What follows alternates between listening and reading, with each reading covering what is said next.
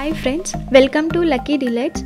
మీరు మా ఛానల్ని ఫస్ట్ టైం చూస్తుంటే కనుక ప్లీజ్ సబ్స్క్రైబ్ ఇవాళ special delay tasty curd rice మా స్టైల్లో మా టిప్స్ ఫాలో అవుతూ మీరు దీన్ని ప్రిపేర్ చేస్తే కనుక చాలా టేస్టీగా ఉంటుందండి. సో లెట్స్ బిగిన్ ఇప్పుడు ఒక కప్పు రైస్ తీసుకుందాము సోనా మసూరి రైస్ దీన్ని బాగా శుభ్రంగా కడిగి మనం ఒక ప్రెషర్ కుక్కర్లోకి తీసుకోవాలి. ఇప్పుడు దీంట్లోకి రెండు కప్పుల వాటర్ యాడ్ చేసుకోండి. వాటర్ యాడ్ చేసుకొని దీన్ని మనం త్రీ విజిల్స్ వచ్చే వరకు కుక్ చేసుకొని రెడీ చేసుకోవాలన్నమాట. ఇప్పుడు ఒక ప్యాన్లో రెండు స్పూన్ల ఆయిల్ హీట్ చేసుకుని దీంట్లోకి ఎనిమిది నుంచి పది జీడిపప్పులు ఇలాగా ఫ్రై చేసుకొని మనం పక్కన పెట్టుకోవాలి. సో ఇప్పుడు దీంట్లోకి శనగపప్పు మినపప్పు ఆవాలు అదేవిధంగా జీలకర్ర వేసుకొని ఫ్రై చేసుకోండి.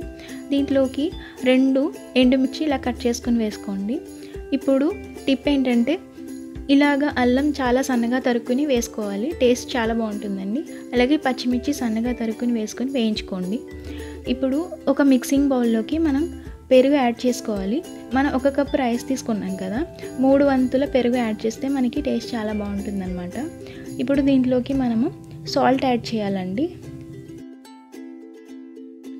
మీరు కావాలంటే కొంచెం వాటర్ కూడా యాడ్ చేసుకోవచ్చండి. ఇప్పుడు దీన్ని బాగా ఫోర్క్తో ఇలా మిక్స్ చేసి కావాలంటే మనం విస్కర్ కూడా యూస్ చేసుకోవచ్చు. ఈ విధంగా సాఫ్ట్గా మనం బాగా మిక్స్ చేయాలన్నమాట. ఇప్పుడు మనం ఆల్రెడీ రెడీ చేసి పెట్టుకున్న పోపులు ఉన్నాయి కదా ఫ్రై చేసినవి అవి ముందుగానే యాడ్ చేసేయాలన్నమాట.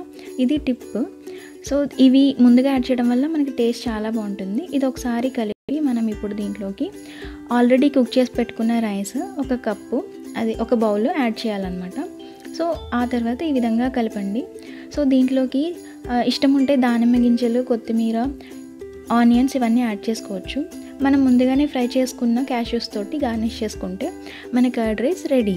సో ఇప్పుడు మీరు కావాలంటే దీంట్లో ఎక్కువ కర్డ్ కూడా యాడ్ చేసుకోవచ్చు. ఆ క్లిప్ మిస్ అయిందండి మీరు యాడ్ చేసుకోండి.